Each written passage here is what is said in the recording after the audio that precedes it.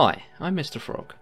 For a while now, I've been heavily interested in the Ultimate Iron Man game mode. With this in mind, I wanted to set myself a new challenge. Using standard UIM rules, I want to acquire one of the coolest pets in the game, the Olmlet. But there's a catch. In addition to these rules, I will also not be allowed to leave the island of Zeah. This means I will have to obtain all of my gear, stats, and supplies in the local areas. Can it be done? Welcome to Overzeahlous. 100% should have recorded this, um, but I was trying to do some editing on the side. I didn't even have the recorder open. I was just editing while splashing, and we just got another Jekyll random. And as you can see from the inventory, holy crap, have we got a lot of stamps. This has been so, so good for for the uh, the, the stamp potions. Um, I don't think I really need to do this, because this is going to be the last one we actually need. I'm just going to do this. This is how I take out one at a time. Um, this is going to be the last one we need. So one more Jekyll random and we're done because we've got four here and five here. One more will make it 10. Uh, we would already have it if I didn't accidentally drink one of the doses, but that is fine. Honestly, I get so many while splashing. It is actually ridiculous. Um, I don't know how many I had before this. I think I had four, so I've gained five just from splashing so far. It's absolutely crazy. Um, but yeah, I was saying in an earlier clip that I might just commit to this until I finish off the pool in the house. I'm going to do that. Honestly, at this rate, I'm going to have it before uh, the weekend even comes around. It's currently Thursday, so I've got two more days, wow, and a bit, um, to uh, to get the last one, which I think is quite likely of happening. Uh, I get them quite frequently. I get a lot of randoms while doing this, so it's it's all well and good. Uh, I didn't put the compost back, but that's fine. I don't need invent space for this anyway. The only time I'm going to need invent space is when I'm farming, and uh, well, I'll be able to store them back then. Um, yeah, so I would have got that on record, honestly, but I just wanted to quickly get the random before it disappeared. My recorder wasn't open, I apologise, but you can see here your reward is one stamp potion. So we are absolutely stacked. One more, and we can finish the pool in the house. And this is going to be amazing, because not only does it mean that we're finally done with this grind, uh, but it also means I don't have to worry about the death storage, and, most importantly, we get more invent space, because I don't have to carry a torso around me anymore. Um, I was thinking of maybe doing a few other things and clearing up some other stuff to try and get some more invent space, but I'll probably go over that once I'm finished with uh, making the pool in the house, and we'll check what we've got in the death storage and stuff. I've got a whole load of herbs, so I'm not really sure what I want to do with these. I can't actually like use them because I can't note potions, um, so I have to keep the herbs noted. It's very annoying. Um, see, I, I'm not sure if I really want to keep the Cadantines. Uh, because super defenses are all well and good, but I don't think I'll be using them for raids. I think I'll probably just use attack and strength um, and not waste an event space on defense. Mainly because I always feel like defense potions don't really help me that much. I seem to get hit regardless. So, uh, yeah, and also my defense uh, in my my armor is going to be pretty poor, so I don't think defense bonus is going to matter too much. I think it's going to be more reliant on prayers than it will stats. So we may well go through the Cadentines, or Cadentines, or whatever you want to call them. Uh, I also want to use up the Lantadymes, but that requires 72 Herblore, so that would mean doing the farming and Herblore grind before doing Red Dragons, which means I'm putting Red Dragons off further. But the whole point would be I'd get to clear up more invent space to do Red Dragons better. Um, I haven't fully committed to it. Like I said, once I finish splashing, I will go through everything we have. But I am just really happy to be getting on with this grind of these potions. It looks amazing to have five of these on me, and we got the final Torstol here, just waiting for the last Jekyll now. Well, it's the moment we've all been waiting for. Uh, unfortunately, I did not get it on video. Um, I didn't have the recorder up at the time, and by the time I managed to get the recorder done, I think I'd logged out, so I've just logged back in, uh, gone back to splashing on the chickens. But the announcement I have is that if you look at the inventory, you'll see we now have six potions. There are four in the death storage, which can only mean one thing. We're done we uh, we finally have our 10 potions, we can finally build the pool and the house, and this was one of the most daunting grinds I had, um, because of the inventory space management that it would cause. Um, but now we're done, and honestly, splashing has been so good for this. I think in total I've had six from splashing and four from elsewhere. It might even be seven, I can't quite remember. Um, but the majority of potions have come from the last two weeks of splashing, which is absolutely insane. Uh, the randoms I get here are so nice and they're also super easy to, to not miss, well, except for that one Jekyll random that disappeared when I walked four tiles, but we won't talk about that, it doesn't matter, we've got ourselves all the potions right now. Um, we have just over 2,000 casts left to use. Uh, I'm probably going to be splashing this out uh, and then we'll finish off here and we can go ahead and make the pool. I'm still deciding on whether I want to go back to Red Dragons or if I want to go and get more runes and just grind out 90 magic in one go. Uh, the main reason for this is just because I'm kind of feeling good with splashing right now and getting the 90 done would mean I don't waste any more ensouled heads. Uh, I'd also clear up some invent space because I wouldn't have to carry anything to do with this. And then also, um, I am doing farming in the meantime, so I'll be able to finish farming all the Harralanders and then make them into potions, which get some Herblore experience. It should get us a Herblore level, actually. I think I worked out it will.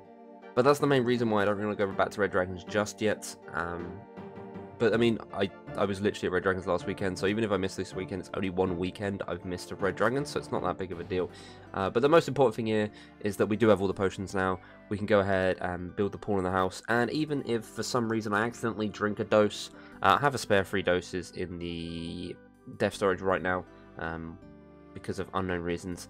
Uh, anyway, so that also explains why we have an extra torstol in the Death storage. It's because uh, Nature Implings dropped them in twos, and naturally I accidentally drank a dose, so we wasted a torstol earlier on. So we've got one left randomly, which is probably going to get dropped. Um, I don't really need it for anything. I guess I could get another stand potion and use it, but I really don't want to be looking out for Jekylls anymore. It's a, a horrible thing to be doing. Um, but yeah, I'm going to finish up here, and I'll see you guys once I am out of runes. Okay, so as you guys can see, we no longer have any runes. We finished up here entirely. Obviously, I was AFK in it, so I didn't get it on record. Um, but I finished it up last night, and then I did a farm run, and I'm just doing a farm run on the way back now as we go to the death storage.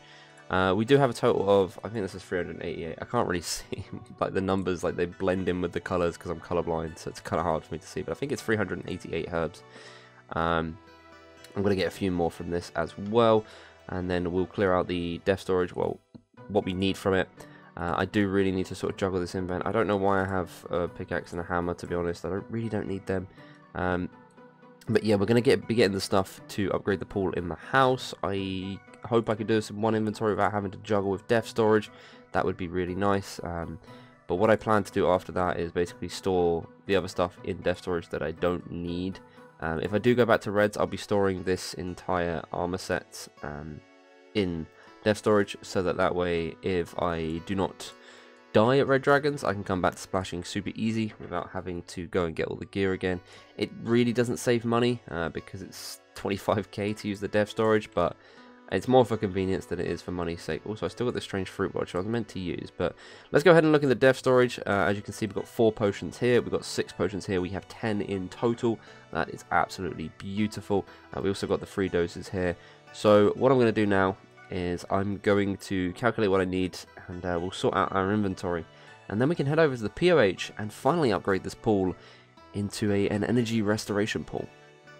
So apparently all I need to upgrade it is just the 10 potions. Obviously I'm going to need a hammer and a saw as well, which is why I re-picked up the hammer that I dropped in the previous clip, and I'll get a saw from the house. I mean, the hammer didn't really matter. I could have just got another one from the POH, but nonetheless, uh, I went and picked it back up.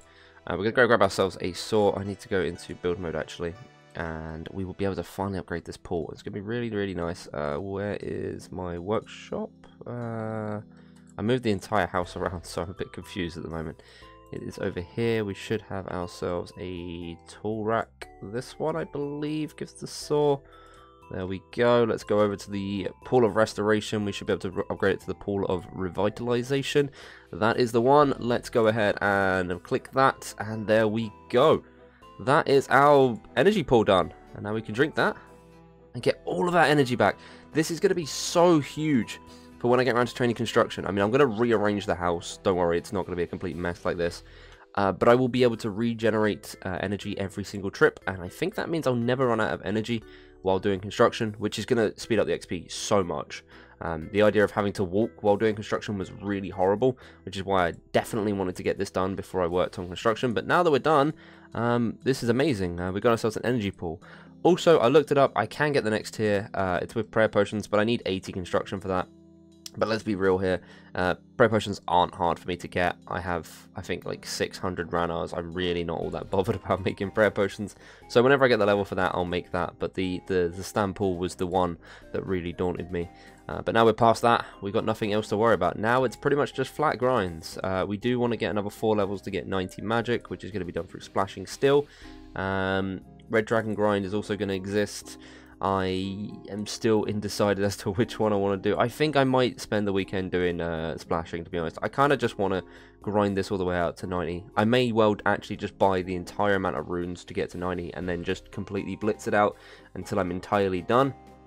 Uh, so I don't have to worry about it anymore. Because that way I'm not missing out on Ensouled Heads. That's the biggest concern for me right now is that if I go back to Red Dragons for a couple of days, I'll get like 6 Ensouled Heads and I can't use them and that's a, a, waste of like 10k prayer XP, and I'd rather not do that, you know. Um, so yeah, we'll probably go and just buy all of the runes we need. That means this stack's probably going to drop below 10 mil, I reckon. Um, but it's fine. Once we go back to reds, it will go back up back up. It'll be totally fine. Um, yeah, uh, pretty much. Uh, I think I need about 50 mil coins to do 99 construction, which again is another one of those things that's kind of like scary. Because red dragons take a long time to kill. Like I said, it's going to take like 400 hours to actually do the red dragon grind. But the more space that I can clear up, the easier it is to do the grind, and therefore the quicker I can get the kills to come in.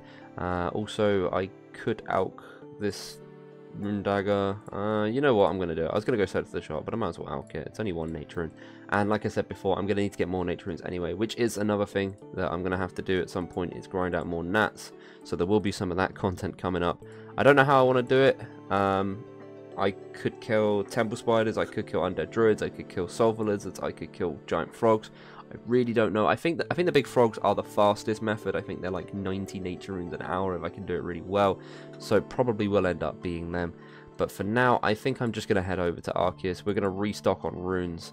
And uh, we're pretty much just going to blitz out the entirety of 90 magic. Um, which will be really nice because then we can uh, do the reanimation spells. And I've been looking forward to doing that quite a lot. Um, I've always wanted to try this kind of stuff. It's just a bit annoying that, you know, high alchemy tablets or reanimate tablets don't exist because otherwise I would just do it in the Forthos dungeon where the dragons are as soon as I get the head because that would be a way nice way of doing it but unfortunately because I have to use high alchemy I can't do both in the same place because I'll be on the wrong spellbook but that is just that's the way it is uh, I really wish they'd add the tablets, but you know they probably never will. So uh, we're going to head over to the Arceuus shop. We're going to get ourselves these runes. This could take a while to buy, but once we've got the runes, we'll go back to the chickens, I guess, and uh, we'll, we'll, go back to splashing them. It also means that I can get the farming done. I may well, I think this is empty actually, because um, I only took out the Harralander seeds. Right, yeah, so I may well get the other seeds out and start growing them. I won't be using them for Herblore, but like the Irits, Kwuarms, and whatnot, uh, can go into the stacks that I have. Uh, that will just mean that I don't have to farm them later, basically. Um, yeah, pretty much. But yeah, we're going to go get ourselves the runes, and I'll probably see you guys with some magical progress. So this is going to be the last uh, 10 packs I need to buy. Um, I attempted to do it absolutely perfectly and uh, I completely messed up and actually went over. Although technically I was trying to get it just before the level, this is going to go just past the level. Uh, I wanted to have 143,000 casts, I ended up with 144,000 casts because I can't count apparently. Uh, but if we do this, this should us 288,000 air runes and that is going to be done. There we go. We have 144,000 fire strikes to cast. That actually took way longer than I thought it would to buy, and also our cash stack is now out of the green again. But don't worry, uh, once we finish with magic, I'll be going back to dragons. We'll get it back into the green cash stack. Like I said, we need 50 mil anyway for construction, and uh, after we've done construction, uh, we can kiss that cash stack goodbye.